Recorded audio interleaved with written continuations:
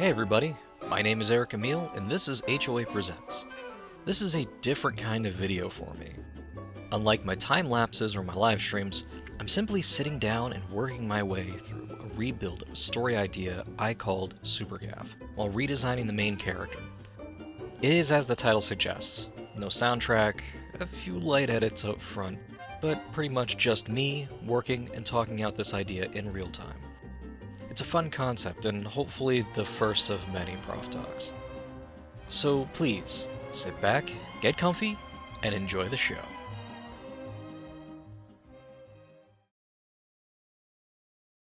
Alright. So, this is a different kind of video for me. The idea is simple. I'm going to take you through the cre well, not so much the creation, but the uh, fixing of a character from an old idea of mine. See, I had an idea a while ago, uh, a number of years ago. I could probably look up. You'll end up seeing the stuff on the screen somewhere in this area. Maybe? Perhaps? I don't know. We'll find out in post. Both of us. Together.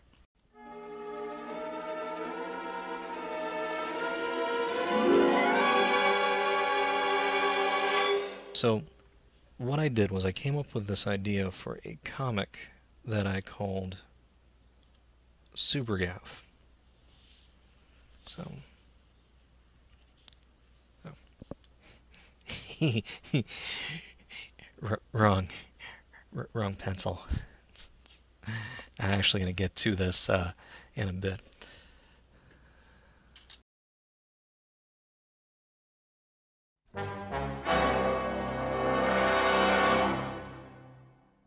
Think it's spelled with an E.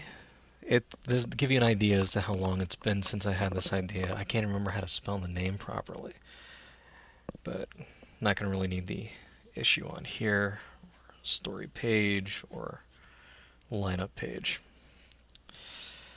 So the idea behind this right now is to give you guys an idea as to how I come through and actually do this type of thing.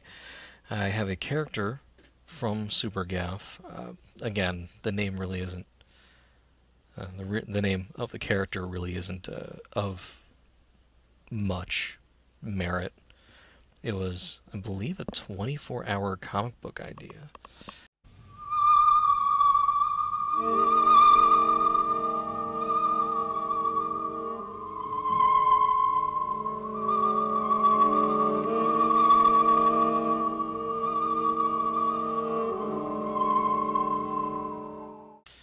But the 24 hour challenge has given me plenty of uh, fodder when it comes to doing things and coming up with ideas. One of the ideas was Night of the Lepus. This one in particular, uh, Super Gaff, I think it happened a couple years later, and it was based around the idea of like Super Sentai Warrior type things that the costume characters that you normally see in Japan, stuff that would end up coming up over here, like uh, Power Rangers or Kamen Rider, or even um, Big Bad Beetleborgs, which is a title I haven't thought of in a number of years. So, the idea of this is at the time of this recording, it's a couple of days before Easter. I to do something rabbit themed, as I am wont to do, because I like drawing little cartoon rabbits. And this guy kind of came, uh, kind of popped back in my head after, oh God, numbers and numbers of years. I really haven't thought of this guy in a very long time.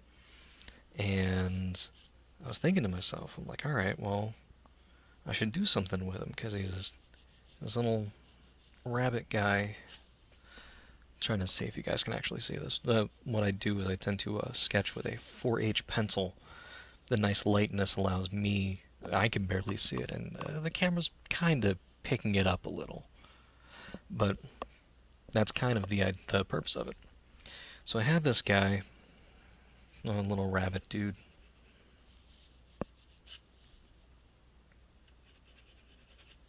Going with a just a basic body shape so that I can get this just so I can get this guy down and kind of fleshed out for you real quick.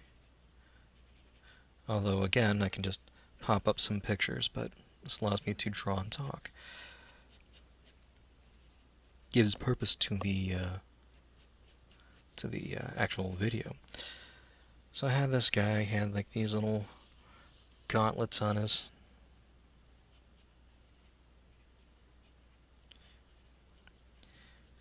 know, had these little uh, gauntlets and had like these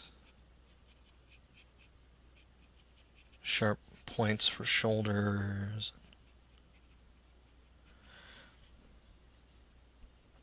And because I love, I'm a sucker for designs with really big flowing things. And this guy was going to have was going to have body armor. Simple little chest piece. Then the stereotypical Sentai belt with a with a knob doohickey thingabob in the middle, usually used for transformation. I believe I base it off the old school Power Morphers from Power Rangers. The kick for this guy was in classic in classic Prophet fashion because I love monster movies and werewolves and vampires and stuff like that.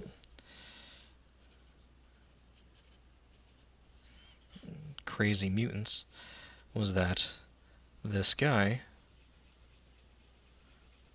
ends up changing from a human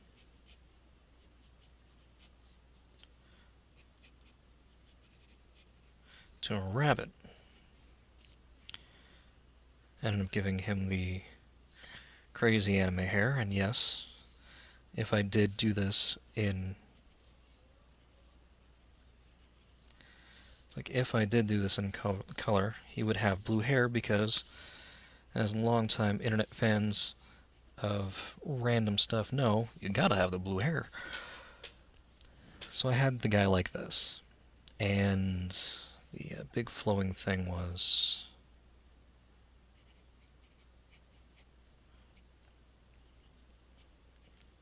like that. Uh, scarf. Now, the reason why it was called Super Gaff is because he messed up. In the, in the little two pages that I actually got a chance to write and draw, he was supposed to say, I believe he was supposed to be saying, body armor energize. But the weird, the weird creature thing that he that he found that he was supposed to fight kind of looked kind of rabbity. A slip of the tongue. He ends up saying bunny armor energize. And he ends up doing his whole big transformation, and he ends up, uh.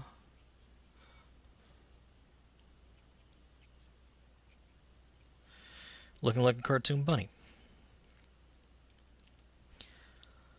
Well, that was good for a two page joke, and I never really touched it again.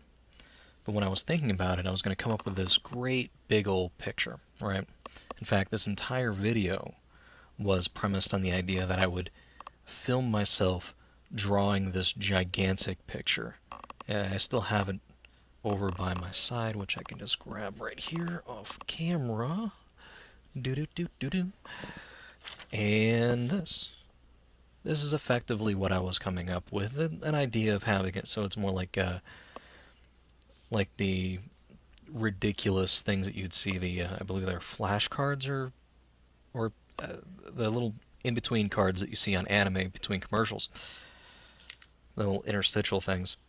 And he was gonna have big old version of him, like the postcard thing, him in the background. You know, do a I would do a logo that says like Super Gaff and have it like all big and bold right there, and have him try doing the Gainax pose. Now, my anatomy is not strong it's something that I still deal with. In fact, I use a lot of when I generally do things where I need to get a pose right. I'll actually use toys and figures and stuff like that, like maquettes. But no matter what I was doing, the I was trying to do the Gainax pose, and it's it's boring. It's a person standing there with their uh, looking grumpy with their arms crossed. And I'm sitting there, I'm like, man, I gotta do something dynamic, gotta do something different. And I realized after all these years, I really wasn't feeling this design. I mean, again, to go back to the, uh, uh, to go back to what I was showing before, this whole thing, the gauntlets, and then the body armor, the belt, and all that.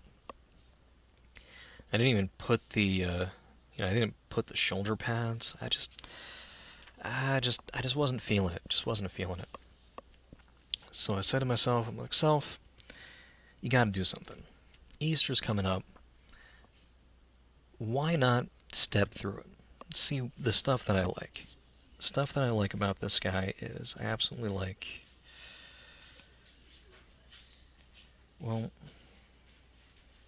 let's go in a pencil that I can actually see because we're not getting into the sketch phase yet. We're just gonna try and come down and do a little bit of a list. So the things that I kind of want to keep is scarf. I don't know when I when I think of like the older like the older costumes that I always liked there was always something unique about them and one of the things that I loved about a scarf mostly because you can do a, scarf can act like a cape when it comes to a when it comes to a character like this and that you can have it flutter and flow and even when the character's standing there you always have at least one point of movement they can be in a full body suit heavily armored, looking like just a chunk of, just a big old square chunk of nothing on the page. But as long as you have something fluttering through, it'll still give a bit of dynamicness to it, almost like, uh, well, you'll see. You'll see. It, it gives it it gives it that action when where there normally wouldn't be. Another thing that I like about it is belt. Now this is very this is actually getting very much into the whole Kamen Rider thing, which was kind of an inspiration for it. Was the old school Kamen Rider, at least the one of the old school Kamen Rider that I know. The character had a scarf. Well, he also had a motorcycle, but I draw on the motorcycle. He had a scarf and he had a neat belt the whole transformation thing was like, yeah, and then you get a chance to see like the, uh, you get a chance to like see the belt becomes a becomes part of the costume. Now, here's what happened with the character idea. Now, I called it Super Gaff for a long time because he messed up. While I was trying to figure out what I was going to do with the character, I was coming up with uh, with ideas from the for the story. Now the story itself, the reason why I'm putting this is it's going to inform the idea behind it is going to inform the uh, character's design. So you got what is he? He is a superhero. Like in a lot of those stories, like Power Rangers and stuff, he is just a normal person who gains something. In this case,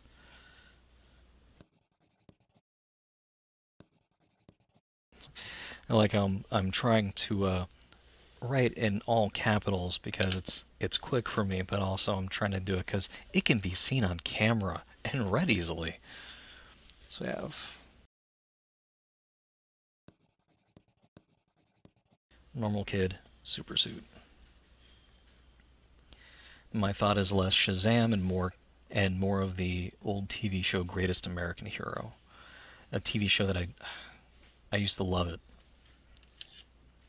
Average guy, a teacher, ends up getting an alien supersuit and he loses the instructions for it. The outfit only works for him and he and a uh, he and an, an uh, oh shoot, I think Robert Culp's character was a, I think he was a G-man. But you have um, a teacher and a cop. Very 80s, so uh, Culp's character was very much, yeah, let's let's go over and beat the Ruskies with the super suit. While he's like, I don't know anything about this, I just want to go and teach my class.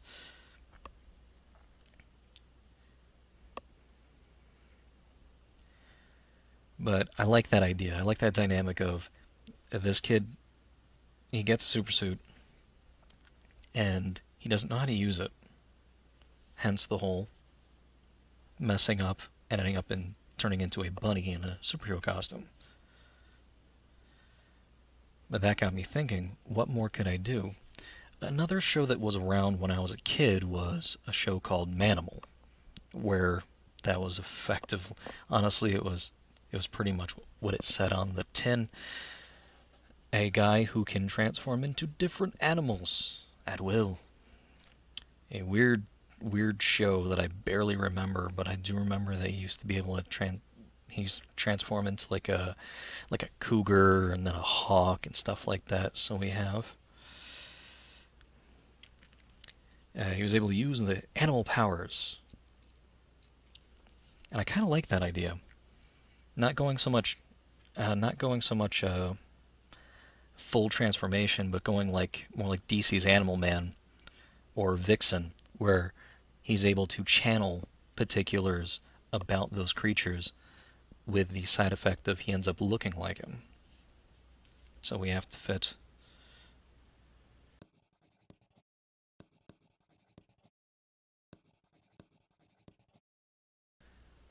We're going to do fit different shapes. Which I really shouldn't call it. Really shouldn't call it story. Should call it something else.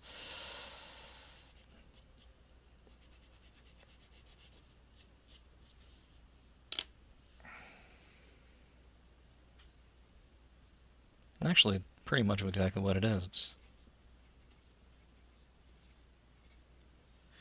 so, what does this thing need? It needs to look like a superhero.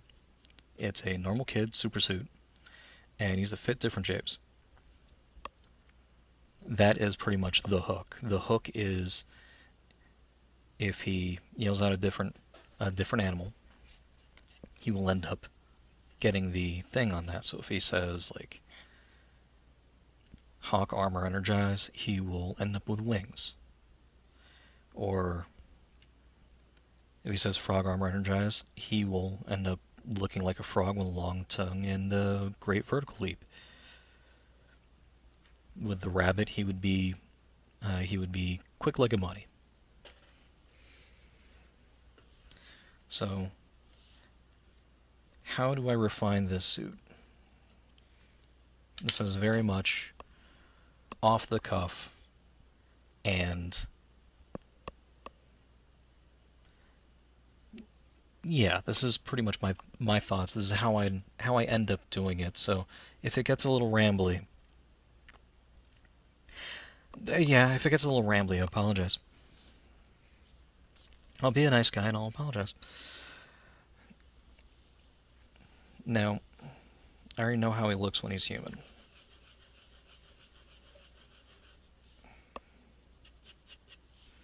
So we got the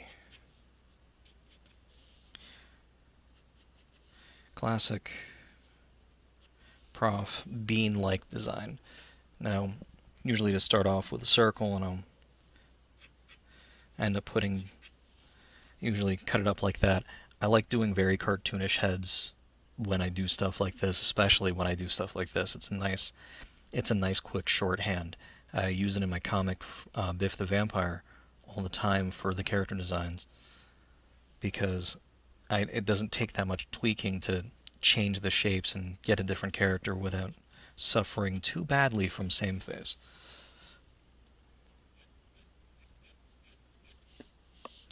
Same face syndrome is a very real thing. I, I know a lot of people tend to uh, poke fun at it, but I know a lot of people who, when they do, when they draw their characters, and they try to come up with different characters, they really get stuck on certain aspects of, uh, of face shapes that they like. So to try and lessen that as much as possible, it's definitely not going to take it away because they're all going to look vaguely, uh, vaguely childlike and vaguely, uh, vaguely cartoonish. To try and lessen that, I go through and I add certain things. I believe the way I had this character when he was human, I gave him a nice simple button nose. I always do the big eyes because I like being able to do the expressiveness.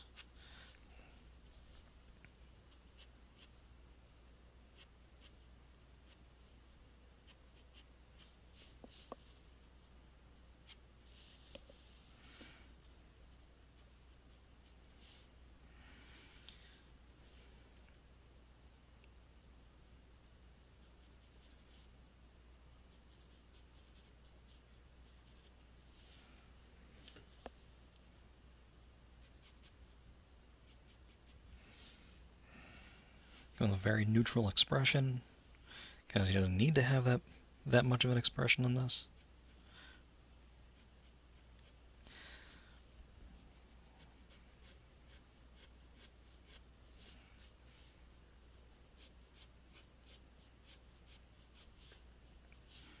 Oddly enough, if you if you read my comic,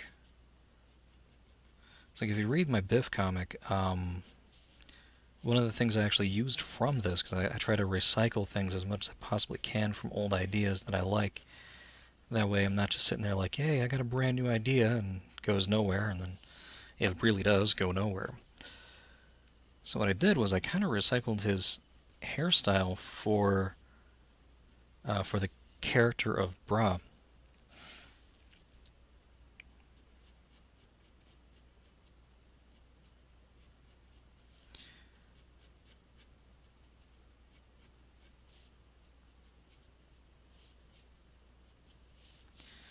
So we got this guy.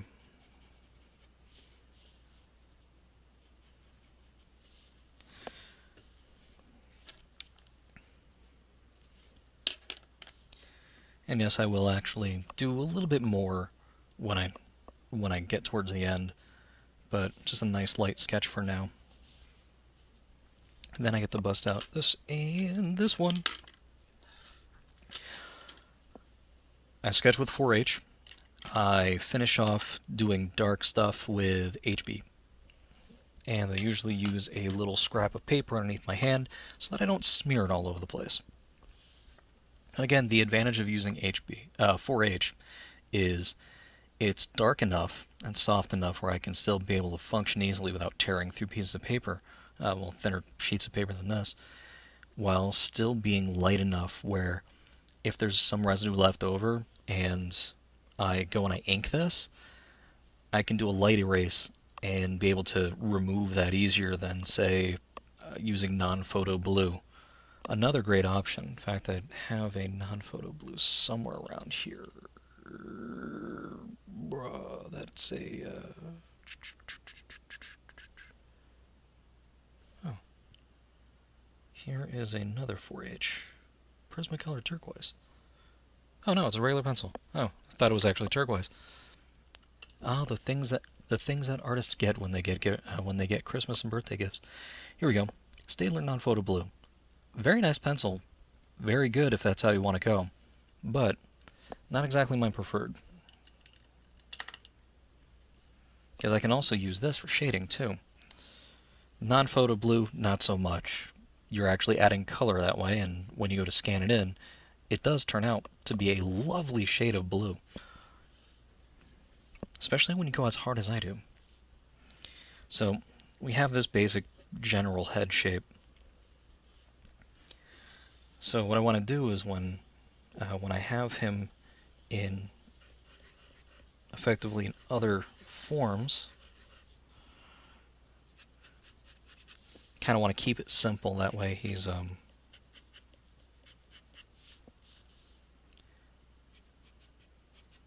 not changing up too much. Too, too much.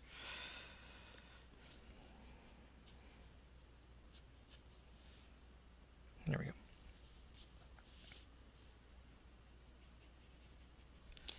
Again, we're going to start with the little with the little button nose, only this time,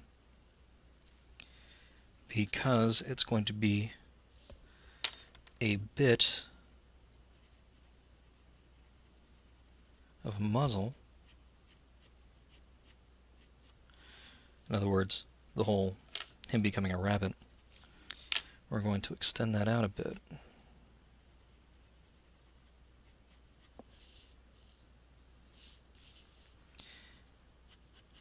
And then in the middle, we're going to go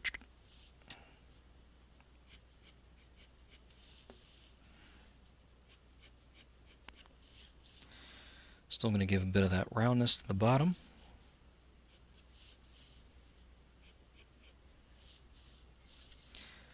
Now the idea for this is to simply give them a couple of little couple of little cute tufts. Nothing too nothing too crazy, nothing too different.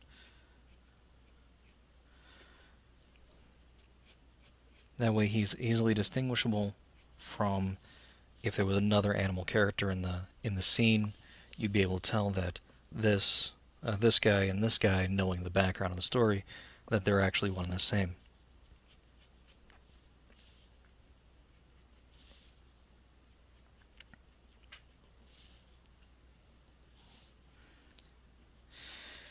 Do the little uh, do the little triangle nose.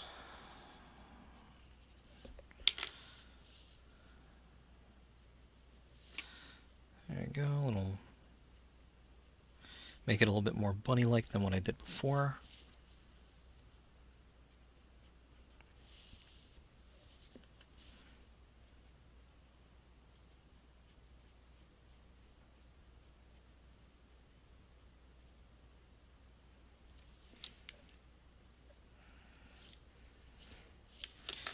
Actually, you know what? Instead of doing the whole uh, giant buck teeth. I'm going to do a little thing like that. So just barely, just barely being shown.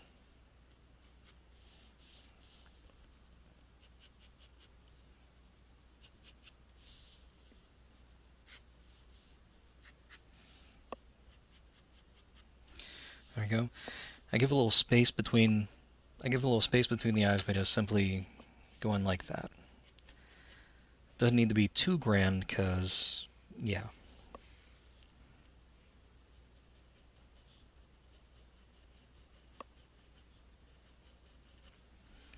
Kind of sketching out some uh, wider eyes.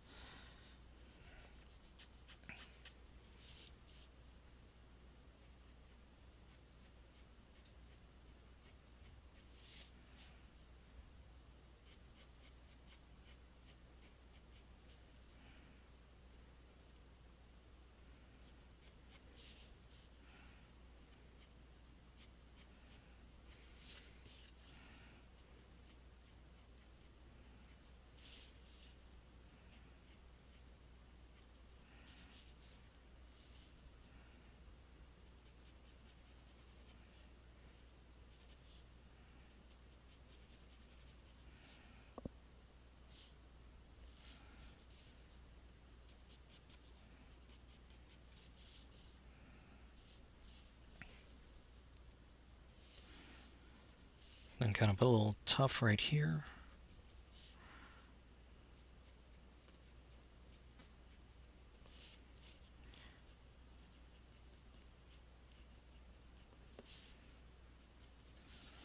Nothing too crazy.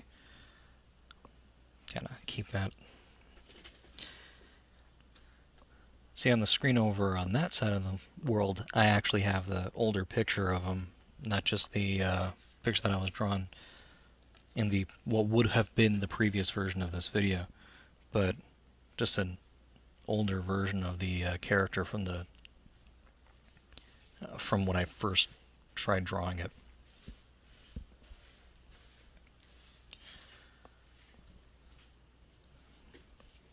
So again, we go with go with the hair, which would be another marking that So if he turns into something that's covered in fur, he would, or with feathers, he would still have the weird hairstyle.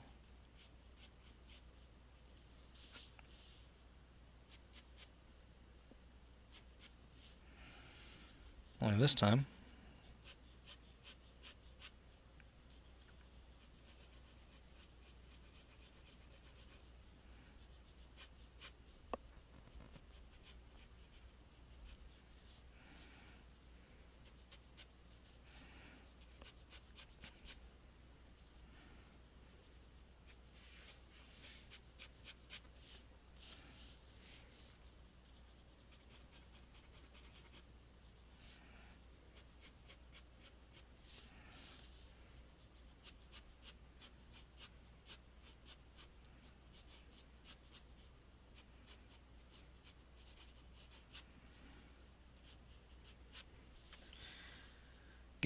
touch. And then, because I keep saying the bird thing, let's do another idea where we make him look bird-like.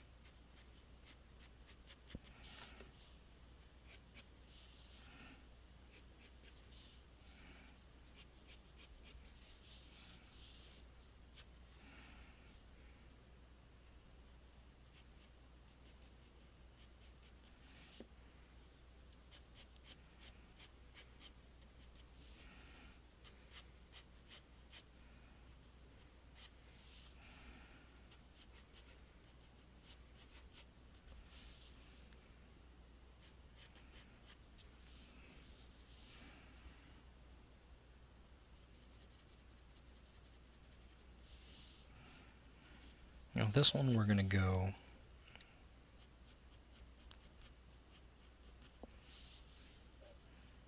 like that.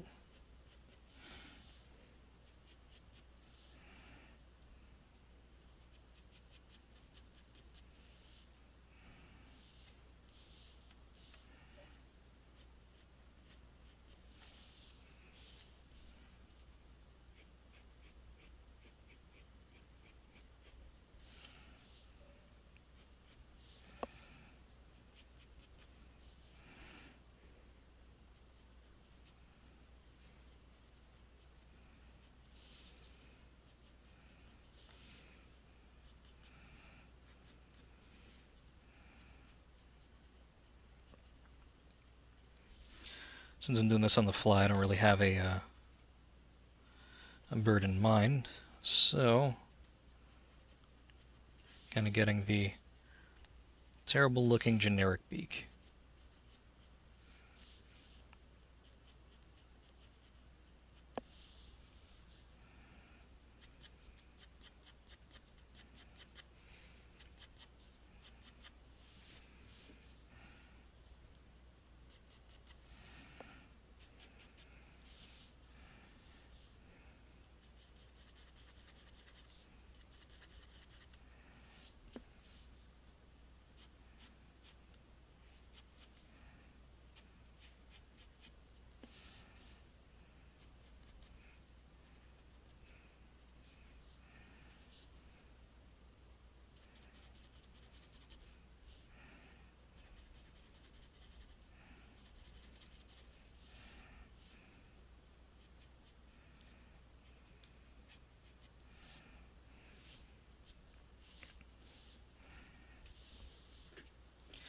There we go.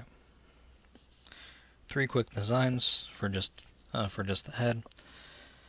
Now the idea is to give him a body, an outfit that can handle these changes while still looking kind of superhero-y and super, well yeah, very superhero-y and very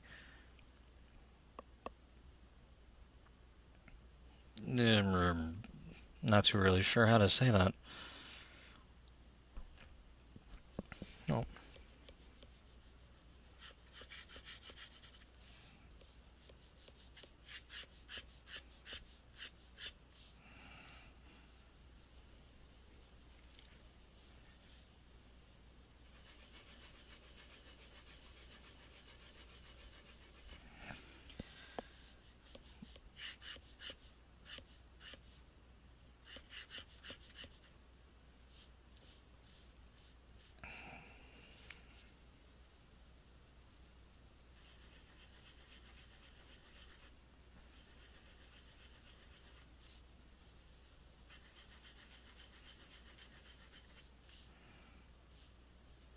And not exactly the best way to do this, but again, doing this on the fly.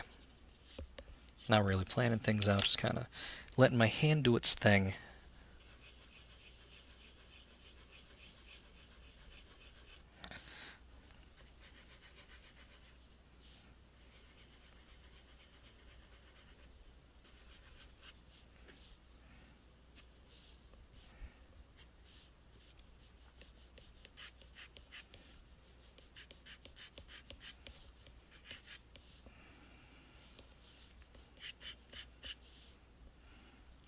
Very standard pose. Let's uh, try to get some uh, a little bit of weird definition right here.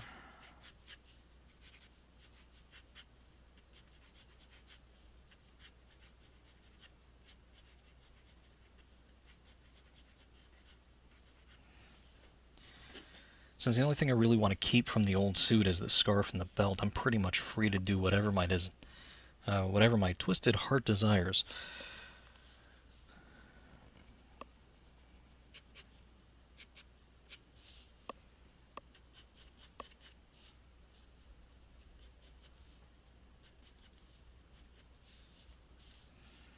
Just kind of rough in the head real quick. That way I've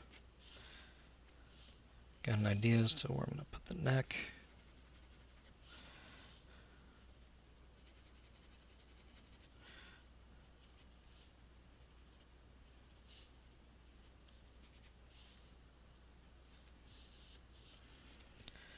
Thing to the upper arm and shoulder. Because again,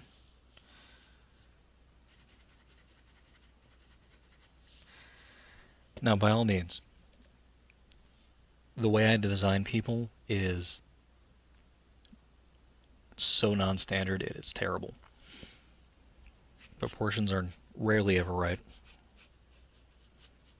or at least in the outside, in the outset, and It ends up working for me because normally I'm doing a comic where you're not really you're usually seeing like about like right there of the character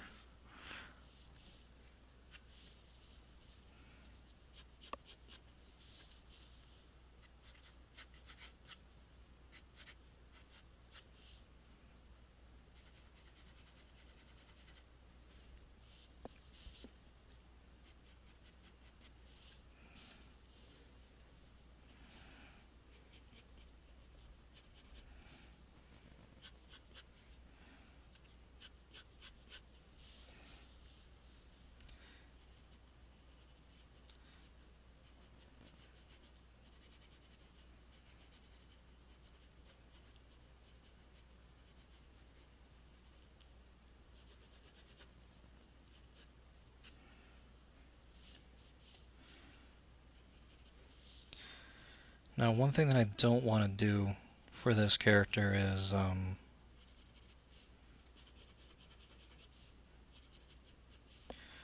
don't want him to be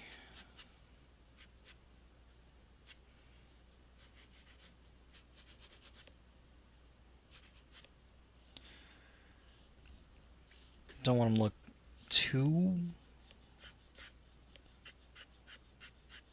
don't want him to make him look too American uh, too Western style, because um, I'm not really.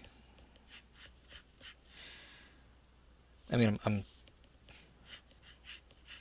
I'm versed enough in American comics where I know that there are just things that I never really was big on when it came to uh, outfit designs. Uh, the modern trend of doing outfit designs you can literally buy in stores, I like, but it's not really going to fit this idea.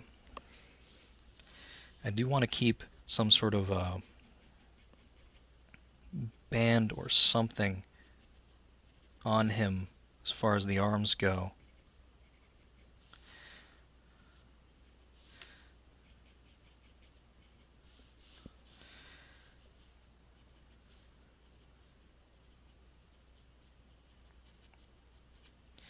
make it almost like a, uh, a cuff of sorts. Now a lot of these, uh, you know, a lot of these characters have like uh, body suits, so you know, body suits and gloves. So I think I'm going to keep this band as being part of a glove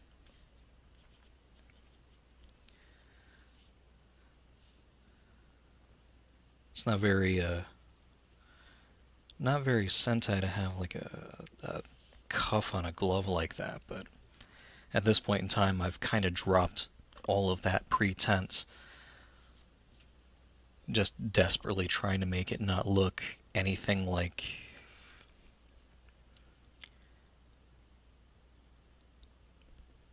I'm trying to make it look a little bit less like it was like it's a rip off of these things that I that I grew up on and more of it being inspired by. I want it to be inspired by stuff like um yeah, like the the superhero costumes that you see in a lot of uh, uh, Japanese costumed live action fighting genre type of uh, type of things. But I don't want it to I don't want it to be that anymore. I don't want it to be like a riff on that. Like instead of making instead of giving him like shoulder pads that are look all crazy and sharp and giving him just a effectively making it so he has a bodysuit full of knives.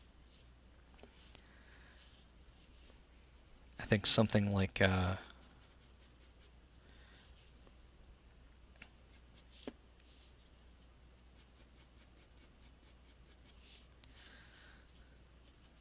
something nice and basic.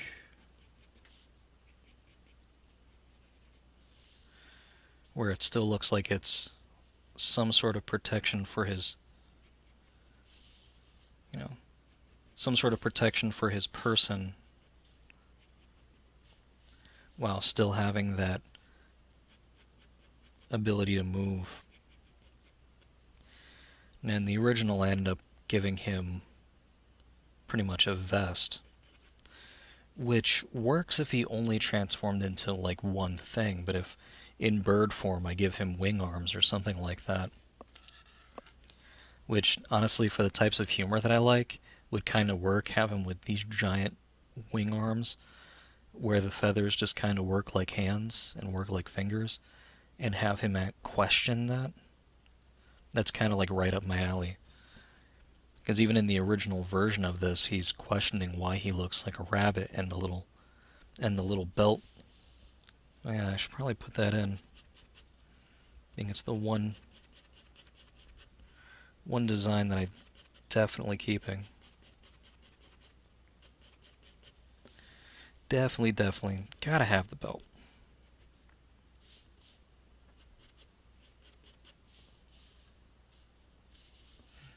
And it would help if I drew the belt right.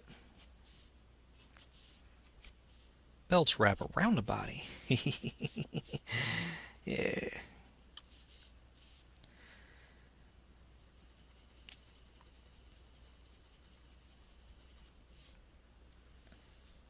So he would have this little belt.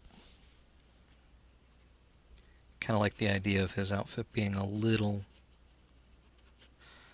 a little baggy if only for the whole idea that he doesn't look like he's going to get much protection from it.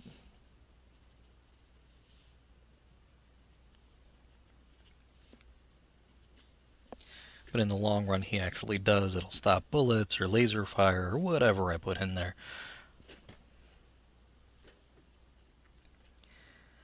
But I definitely do want to have something on his chest so that he, um, something that looks vest-like, something that looks like it's a, like it would actually do some protection, like, like by all means, keep shooting me here. This effect, and your bullets don't affect me.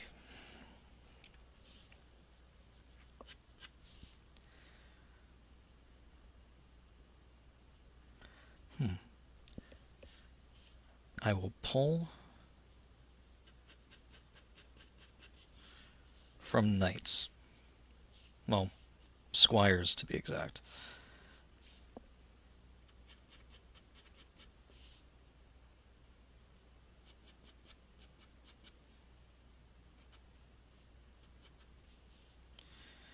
That way it also works in that you have something that looks like pauldrons. I believe that's the term for for the uh, shoulder pads.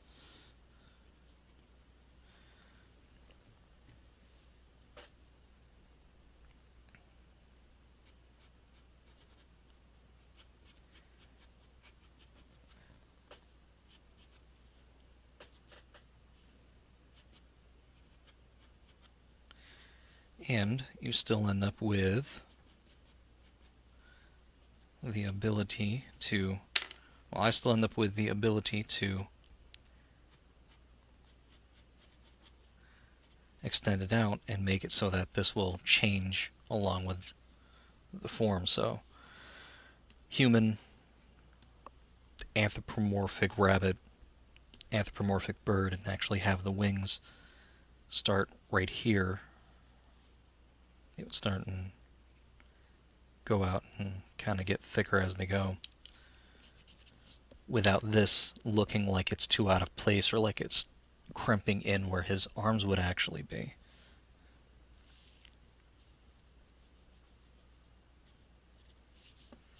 That's about where the knee should go. Right there.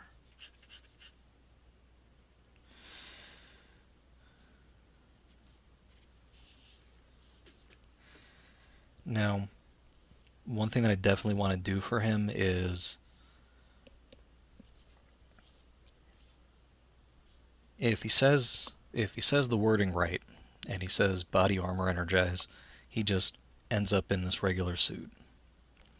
So I kind of have to design shoes for the guy. As a rabbit and as a bird or, anything like that, I would definitely do just kind of keep that whole cartoony animalness. So for this, I'm thinking about, actually, I am thinking about, oh, there we go. Think about something like this. Because again, one of the good things about uh, one of the good things about Gundam and stuff like that is um, you can actually make one of these things, and all I'd really have to do is just uh, maybe make a little bit of squares. It's always the under the knees be, uh, below the knee is really like the big thing, like the knee and the chest and a little skirt. Those are like the really big items that you normally see on things. Uh, I have another one over here too that I use for uh, helping with posing. Uh, here we go. For uh, Gundam X, all the design characteristics are down here in the legs and up here in the shoulders. Another, that's actually really a design that I really like.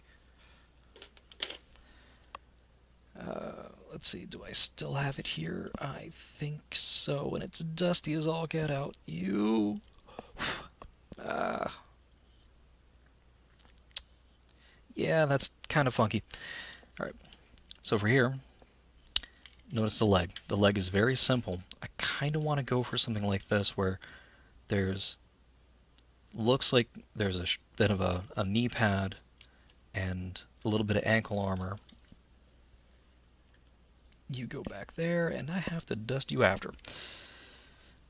Eesh, got dust all over here. Alright. So for this, let's see, uh, we'll go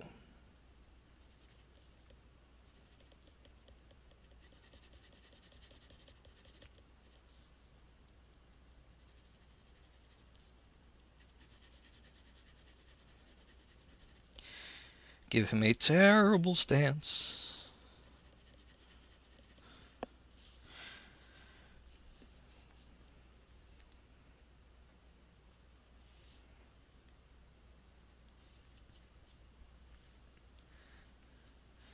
Now I don't want to do the whole I don't want to do the whole sharp pointy toes like you can see on a lot of these guys. They they go with a very very pointed foot for a lot of these uh, for a lot of these designs which is great for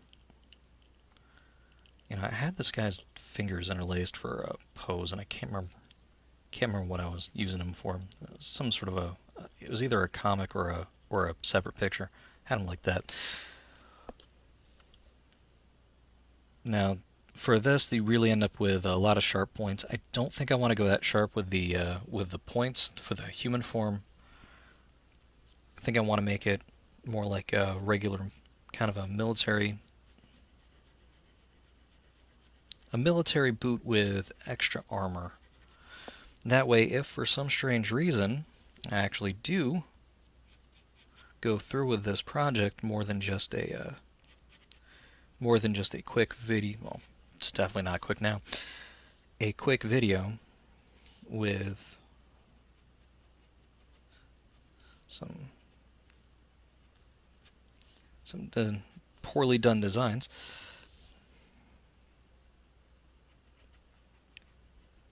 Mind you, the designs don't have to be poorly done. I recommend doing good designs. But when you're doing stuff quick and dirty and you're just kind of getting things down on paper, quick and uh, quick and dirty and poor design, this would be the this is effectively the first draft of a kind of sort of new idea. Anywho, so we're gonna go like that. Kind of want to do the baggy thing again.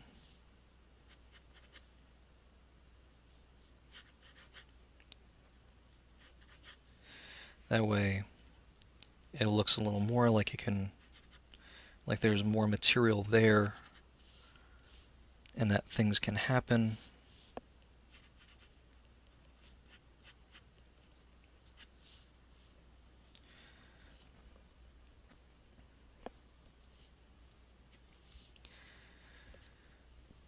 So, with the way that, with the way those legs look, they usually have ankle armor. do some ankle armor.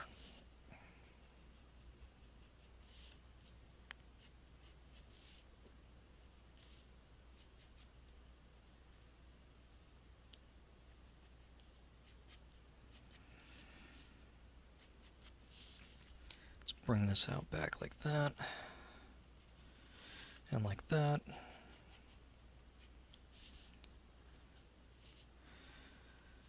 And then for the rest of this, we're going to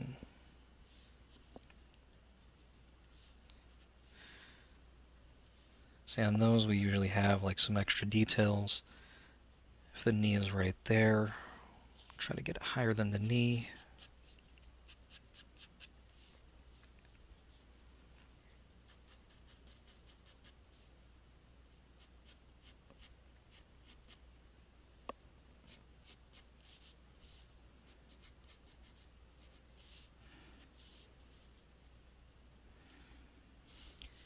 Bring it down to there. That way there's a bit of a visual, a bit of a visual element, a bit of a stop.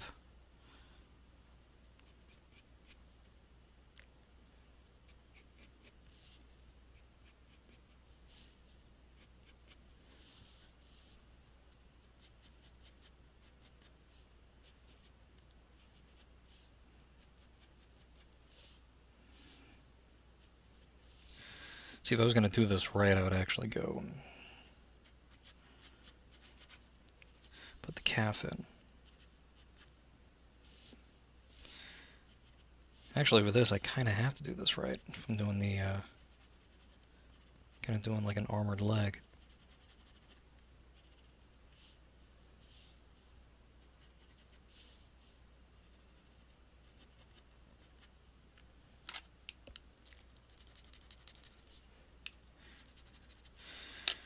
The original design also had a lot of um,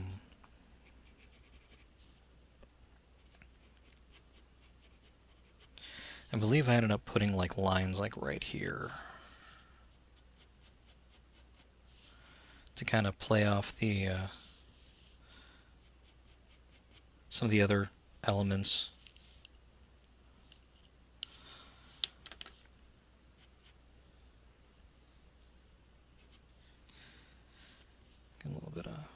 make that a bit chunkier.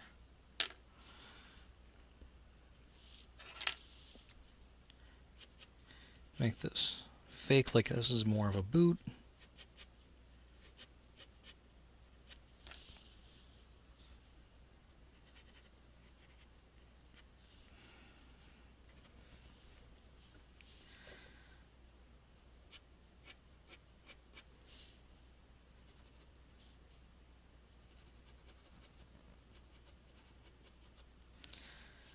Now for the fun part, or at least the part that will make it so that I can make this guy look like he's fun and animated even when he's standing still. And that would be the scarf. Now before I just had it so that it was just kind of low and you were still able to see his face. For this,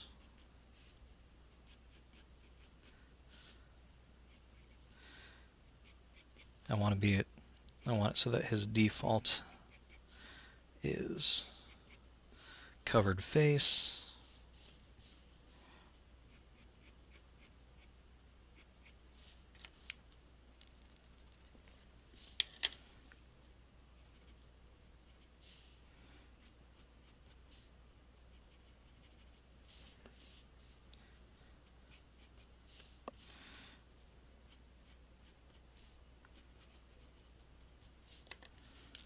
Really doesn't work well in this particular design choice.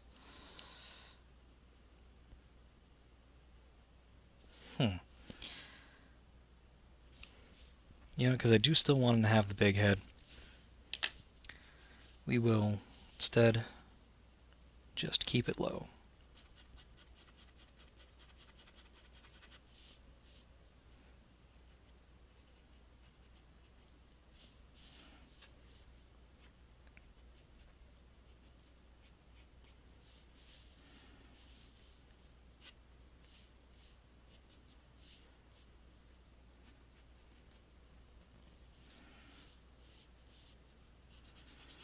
Fact, I can even change the size of his head right now, because again, the advantage of just kind of fleshing things out and working things out.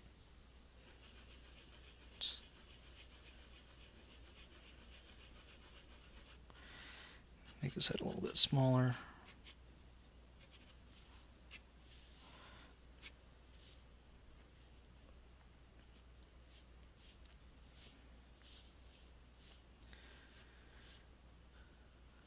And then for the scarf, have it kind of give him the ridiculous shinobi scarf, which has no rhyme nor reason. It just is. And what is it? Long. Very long. One of the more fun parts of, that, of the uh, that particular idea is uh, just running forever and watching as the scarf just kind of trails and goes.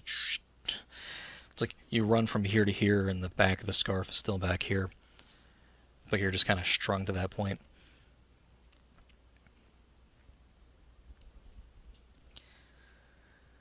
And every hero has to have some sort of a weapon. When it comes to these types of things, usually it's like some sort of a blaster thing or something like that. Now, in the original design in the gauntlets, I had like uh, blades. But I don't know how I feel about that. Because, I mean, I, I, like, it's like I, I, I really do like having superheroes have like close combat stuff, but not too sure how I'm feeling that with the design.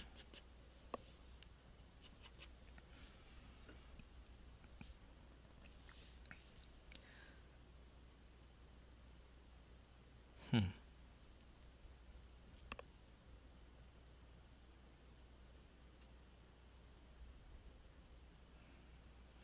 Yeah, I think I'm I think I'm good and ready to try and to try and finalize some of this look.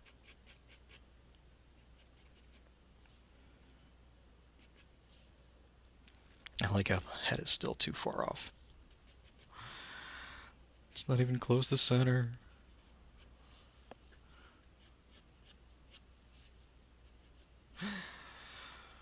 Oh, this is rough draft is so damn rough.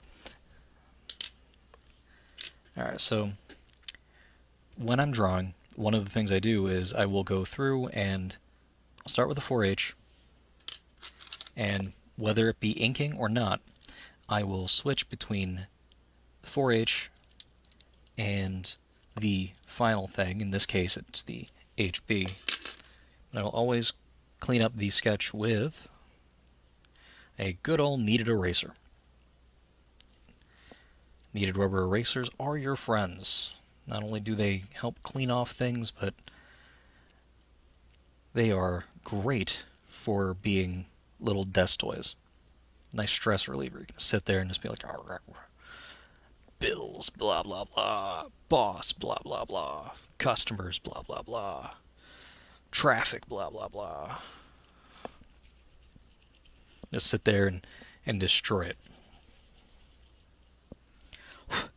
But my main use for it is lightening things up, removing a little bit of extra,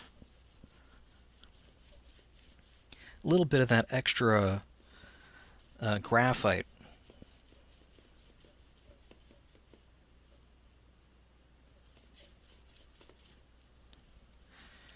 And then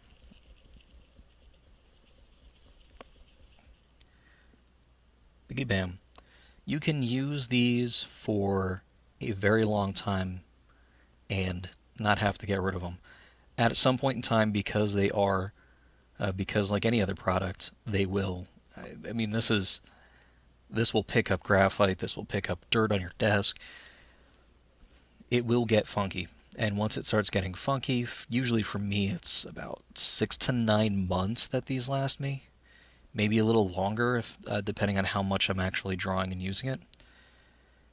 But every six to nine months, I usually try to replace it because it will it will start to fall apart on you.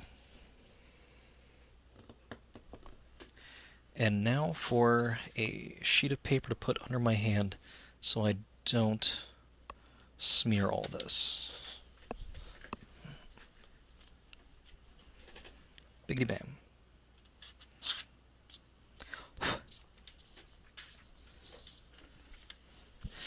Now the idea with this is I can draw here, put that, then if I flip it around, I can draw down here and work that.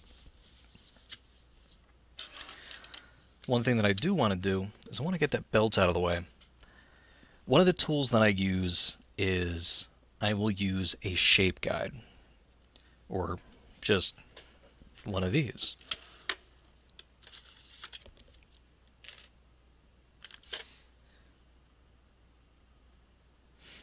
In this case, I might want to go with my smaller one if I can find it still. Although I think it might be buried on one of my other tables. No, no, no. Uh, is it?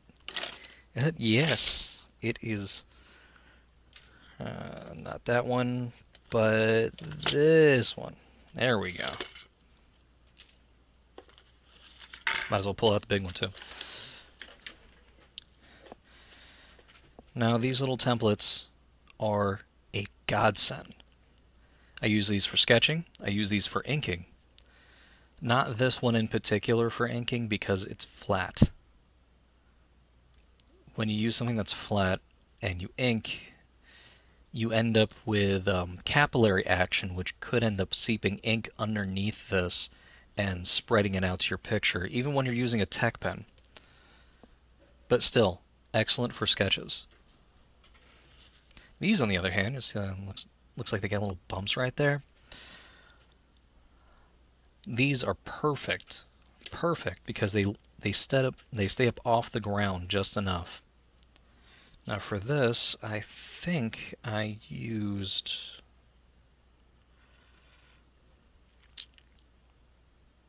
you know, I think I used the Koh-i-Noor and not the uh, Staedtler. The only difference is, is uh, the sizes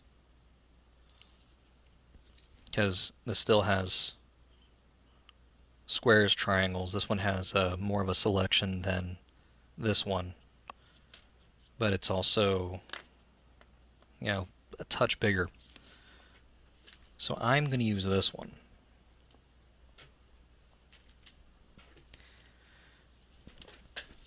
Now for this, I'm just going to go through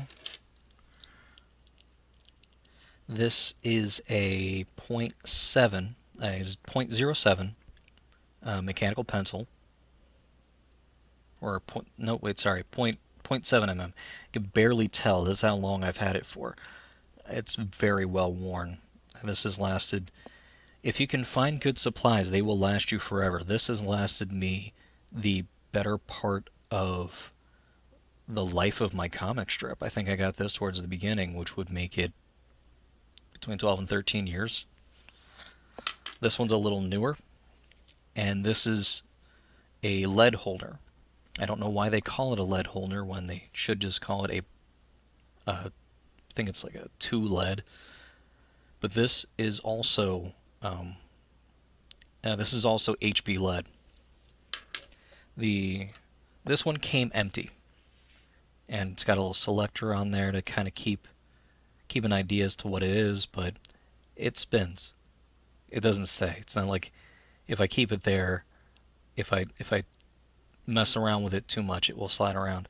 This one, on the other hand, it's just blue. Most Staedtler stuff is. In fact, I think this one's a Staedtler too. Can't really tell anymore because um, it's all been worn off. I do have one that has 4H in it. In fact, that was the one that you see that you saw me starting out with. This, I use these for when uh, in this size. I use these for uh, larger images or my sketchbook when I can't find my 4H pencil, or if I'm going someplace where actually erase, I mean, uh, sharpening a pencil is impossible. As for the erasers that I'm going to be using to keep this all nice and clean, we have a nice click eraser. This one just happens to be triangular so that it won't roll off my desk. And a nice big old chunky square white, uh, white eraser. I swear by the white erasers because I do I did have a gray one that was a little too gritty and it was starting to chew into my paper a little too much. I'm not exactly the most perfect of people when it comes to this stuff, so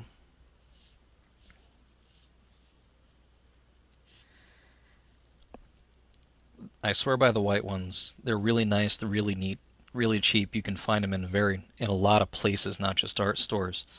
In fact, I think I got that one from I think I got that one from a card shop, like a greeting card place. It was in with their arts and crafts section.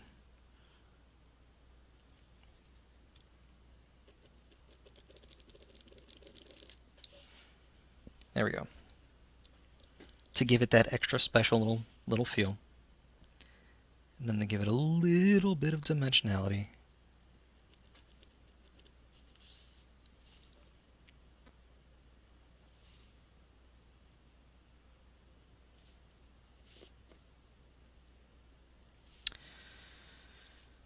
So this did its job.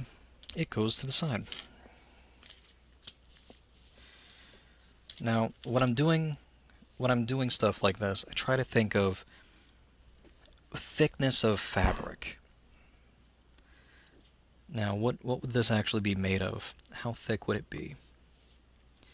In this particular case, I'm going to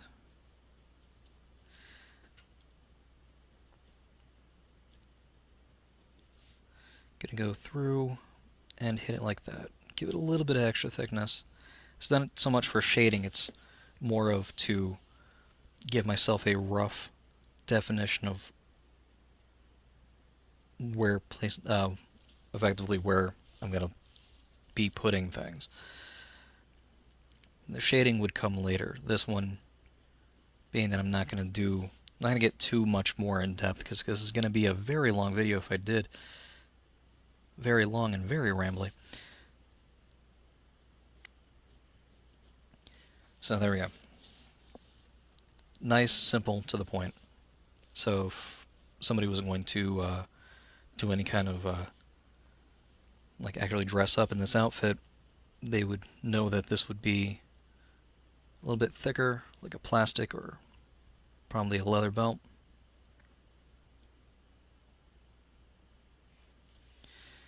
That goes in like that. We put some folds right here because it would be getting clamped by this armor piece. Now the armor piece would come out and up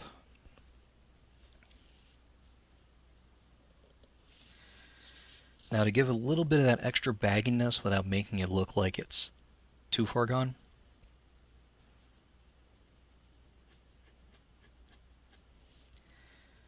I will keep this as plain as possible, but right about here,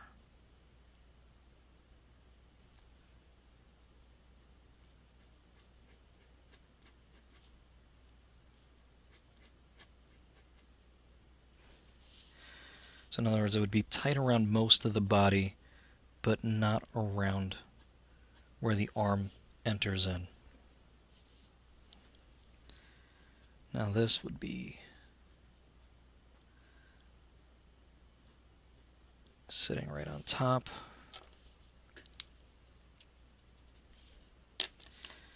Kind of come in and around right here.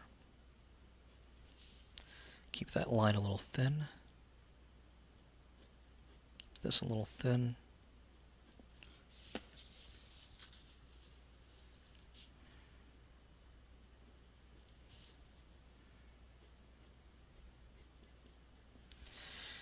That way there is a design touch without it being too over the top. So in other words, no sharp pinpoint things at the uh, sharp pinpoint pauldrons like he's wearing, uh, like he's wearing needles or something. I don't need him being that sharp. No one needs to be that sharp.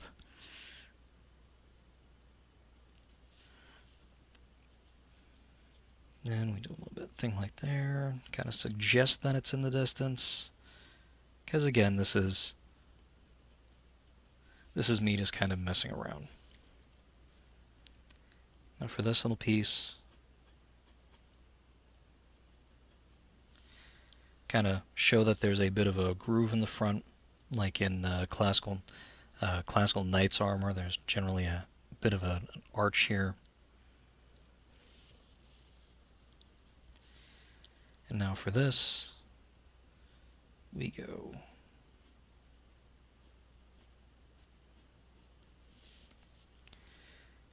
in and up.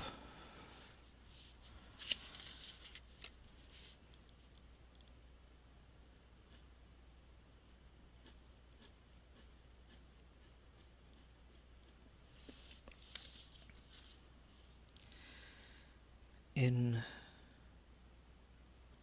and up.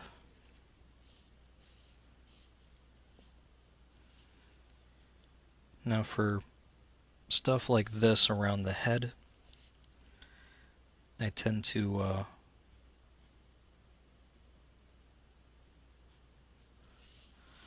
tend to give it a little bit of a curl down like that.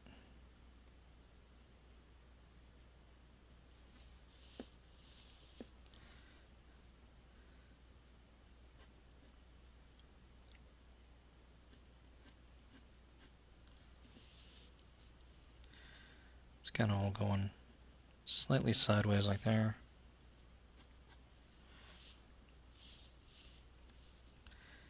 For this.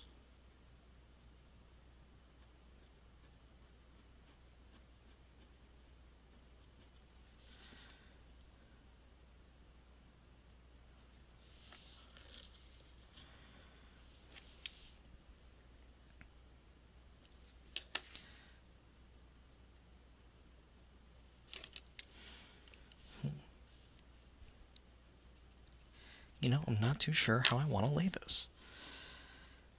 So I will put improbable folds until I figure out a good placement.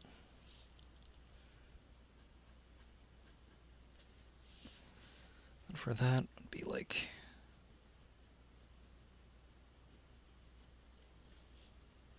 something like that. It's looking very, very lopsided. then again, the head is actually going to get pushed over here.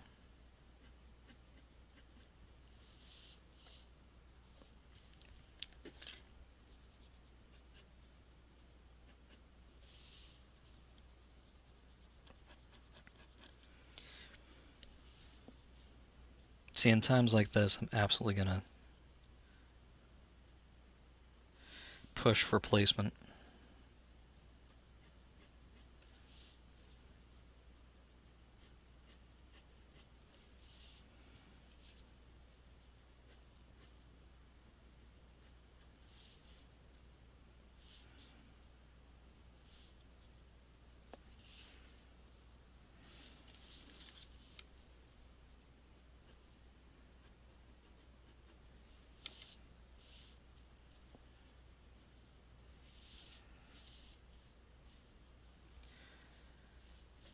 Let's put in the other arm real quick. Of show that he's not one-handed. Go a little bit more baggy right there.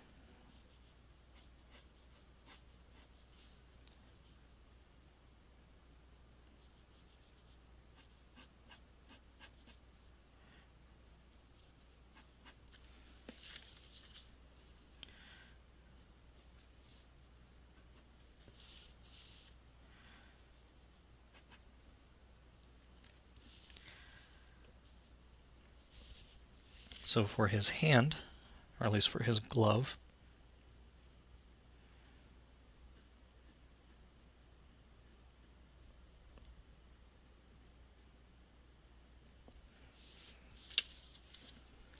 what I'm going to do, go like that, give it a little bit of a flare.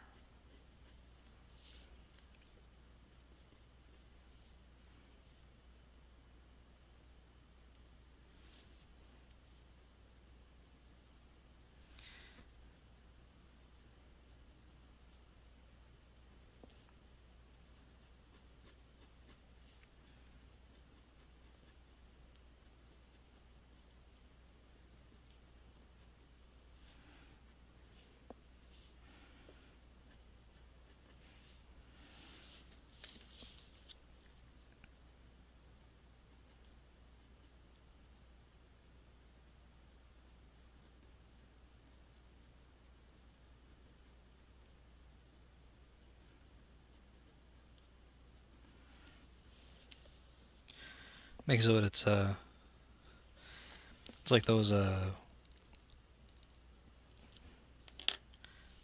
pseudo fingerless gloves. Ooh, I know.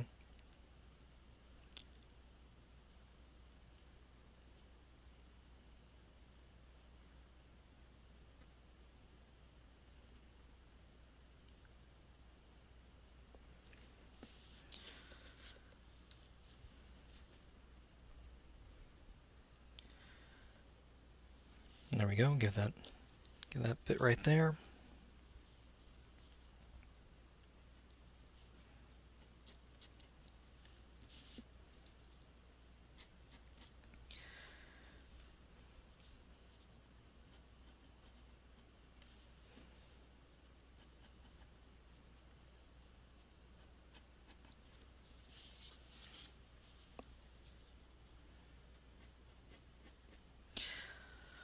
The advantage of working on paper to do all this, in my case, is I can put this down. I don't have to be too correct with my anatomy. I can always fix that in other iterations, like figuring out the right distances for everything and and how I want it to look exactly, as opposed to quick jotting down of things. Like, for this, if I really wanted to, I could even start going into like uh, Bungie levels of design choices and going and and making that look like it's a whole zip up thing. I mean, this ain't this actually isn't a bad idea, but I like it being a little bit farther down, so instead it would kind of catch the save the gut a little, as opposed to just being a, uh, proper. Well, I really can't say proper breastplate. I've never seen a proper best uh, breastplate in person, but I can do stuff like that and doing and go the uh, DC route of we're doing new characters. Give them piping, plenty of piping.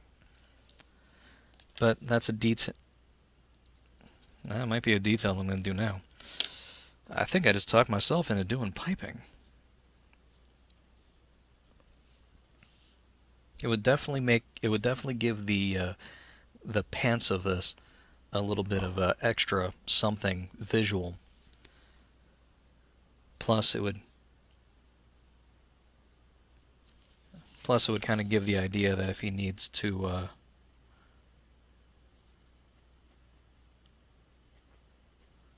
come up with something, there are pockets that he can go into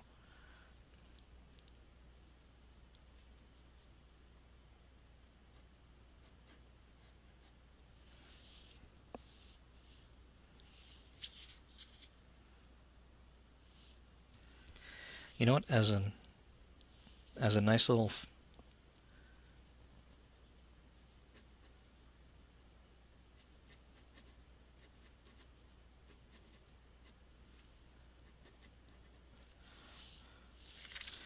There we go. So you have that, you have that, a little bit extra character. Plays off with the lines on the weird armored boot type things.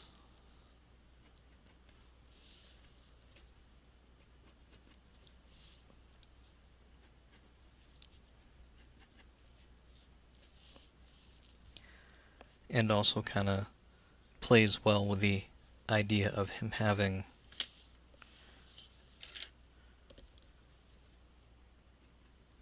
armor right here. At this point in time, I don't even know if the uh, thing's in in here, but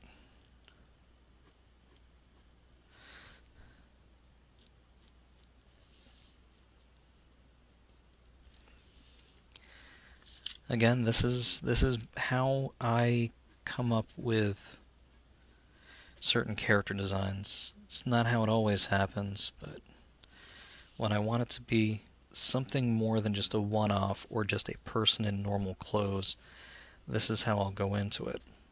And then to kind of mimic that,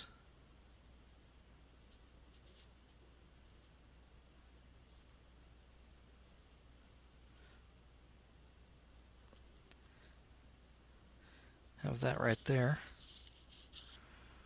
So it looks like it's actually connected to something.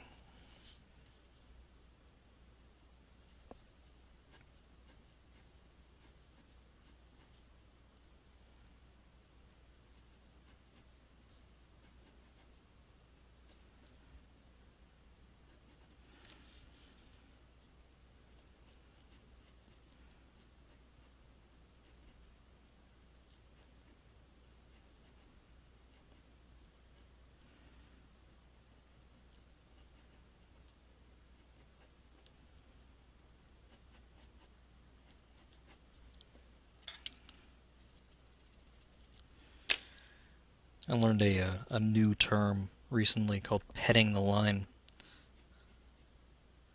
Unfortunately, that was a per. This is a perfect explan uh, like a a perfect example of me petting the line.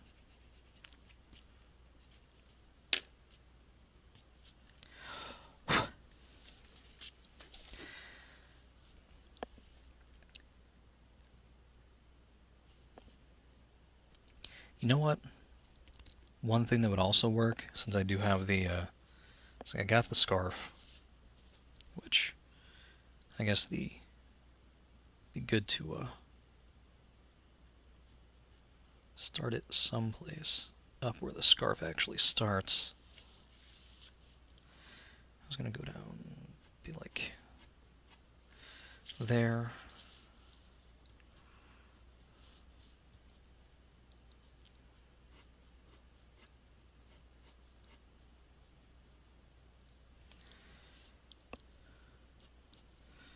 Since it's a fabric.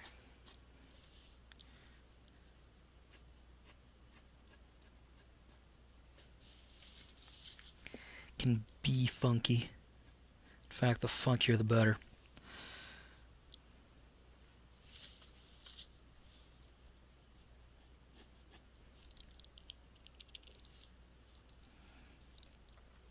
I think one thing that I'm going to add is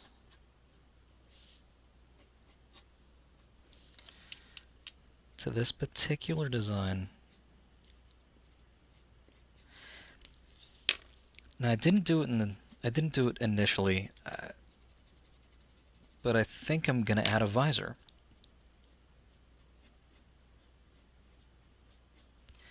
Like those characters that have an improbable, like improbable sunglasses.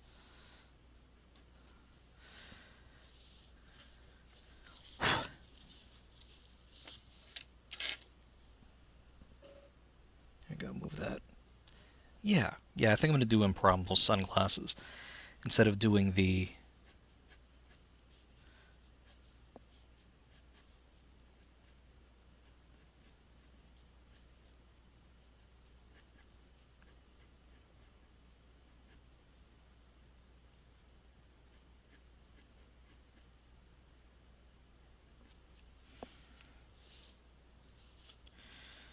Not for this.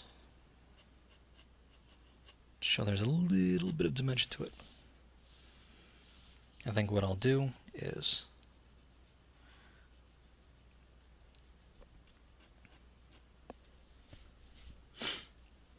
even if the other forms really can't use it,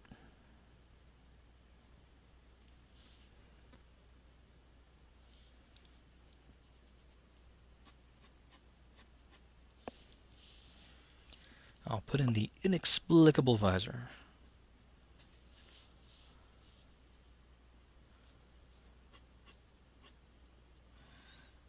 That has no possible way to attach to the face, but just kind of does.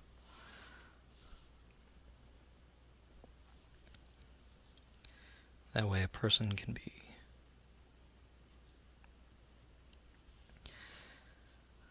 So even when I do the little notch right here, allows me to do the bird, the bird thing, or whatever, uh, whatever I'd need.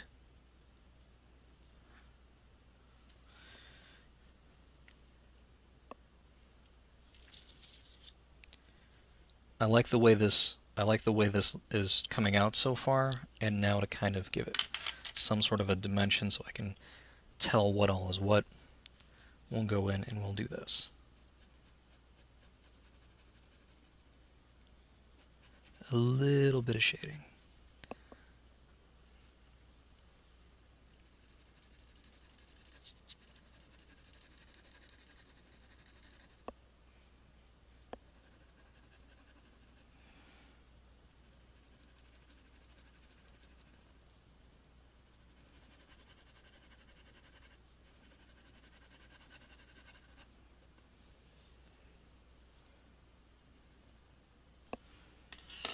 Actually, I know what? I think I'm going to use the... Uh...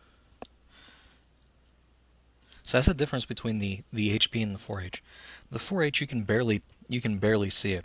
Now I can I can use this and I can keep going and keep going and keep going and build up a lot. Or I can get it done real quick by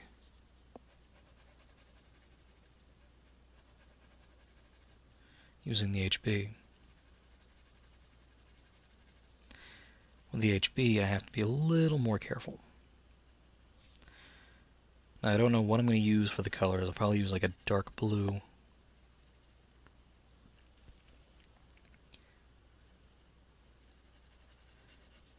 And stuff like that.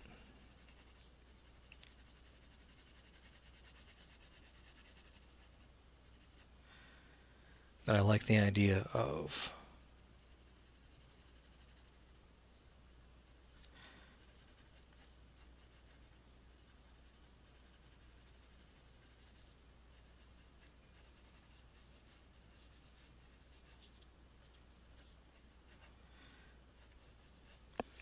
I like the way this is coming out. I like the way this looks. In fact, I'm probably going to go and do the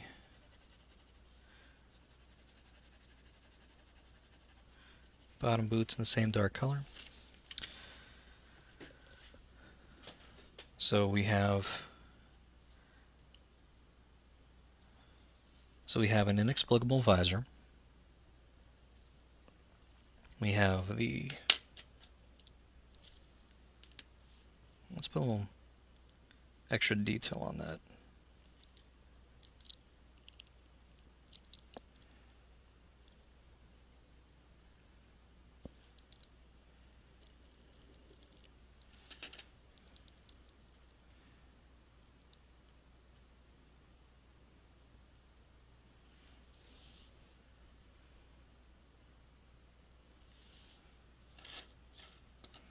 There we go.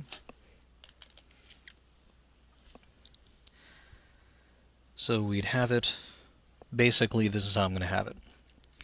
So to make so I can do different forms, keep it simple, the arms would effectively disappear, the shoes would effectively disappear, and this would allow me to still have a similar design style within the forms.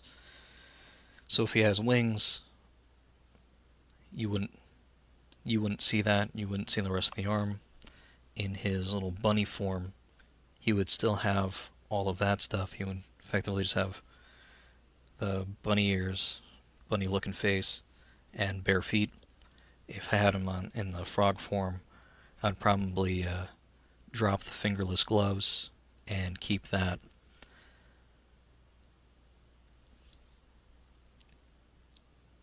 Like the bird form, the whole entire arm would be a bird's wing. But again, the things that would stay the same would be the thing right here, little pauldron, the breastplate, as far as that part of his body goes.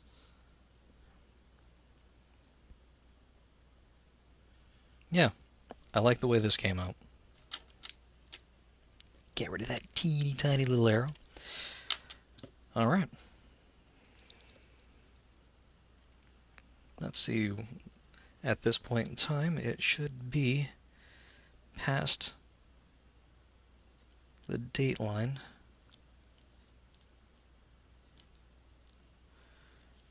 But I'm not going to date this just yet. So yeah, there we go. This is the hero from Super Gaff. Still nameless, but I think this is how I'm going to run it. Yeah. Nice and fine. Done with one 4H pencil, one HB 0.7 lead, a 4H lead holder, a HB lead holder, the magic that is a kneaded rubber eraser and a clip pencil because I really didn't use this for anything except for before I turned the camera on I cleaned this off a bit. So yeah, thank you for uh, tuning in if you actually stayed this entire time. Uh, follow directions in the end cap if you stuck around and are willing to watch it. Thank you. Thanks for watching. If you dug it, hit that like button and maybe share this with your friends. Shout out to my backers on Patreon who help make this possible. If you'd like to see more of my artwork, simply click the links below. Till next time, folks.